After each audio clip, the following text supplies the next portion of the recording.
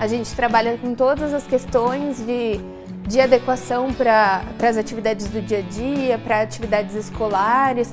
Então, é realmente estar na vida do, do indivíduo, do paciente, trabalhando e melhorando para ele. Então, durante a minha terapia, a criança pode estar desempenhando de uma forma, ela pode estar fazendo bem aquela determinada atividade. Mas e em casa, e na escola?